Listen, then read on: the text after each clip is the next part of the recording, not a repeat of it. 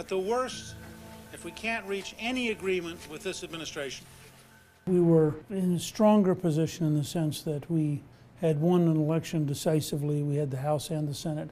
We'd won on a platform that specifically included balancing the budget. In November 1995, then Speaker of the House Newt Gingrich led an effort that resulted in a shutdown of the federal government. Now, congressional Republicans, once again battling a Democratic president over budget and other issues, seem ready to do the same. But how do these two episodes compare? in so many ways, 1995, 1996 are not really a guide for now.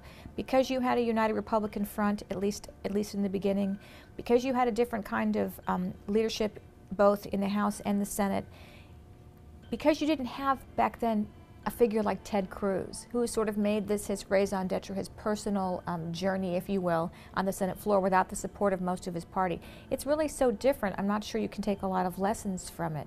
We've seen the impacts of Obamacare. We've seen what it's doing. The other fundamental difference was that at the time of 95, Newt Gingrich was this dynamic new speaker. And at the same time that President Clinton's popularity was plummeting, the House Republicans were really on the rise. It was a united political front on the Hill.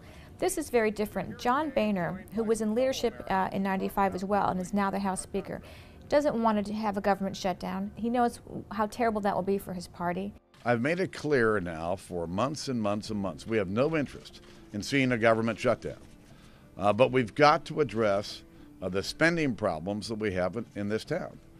I would have to say that John Boehner has handled the run up to this better than I did. Uh, I was too willing to close the government. In fact, the 1996 shutdown was politically disastrous for Republicans. Two years later, Newt Gingrich was out of Congress while President Clinton's numbers had rebounded what they did was hand President Clinton a gift because he really went out and he hammered away on them during this entire process and ultimately won that battle. And they sort of turned their own fortunes and paved the path for his reelection and really helped to destroy the chances of Bob Dole becoming president.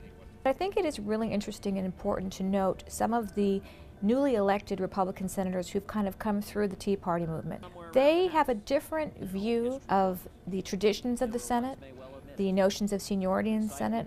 And this is very different, and this means that a lot of these senators are really willing to blow things up in a way that history basically has not seen. We will continue to take every opportunity made available to us to fight on behalf of the American people, to fight on behalf of hardworking men and women in this country. We are living in an absurd Alice in Wonderland, Republican Tea Party world here. At the time, especially the 21 day shutdown, Congress had passed a fair number of large appropriations bills. At this point, there are no appropriations bills passed. So if we do go into a government shutdown, I would suspect it would be far more impactful and more dire and certainly affect far more federal employees.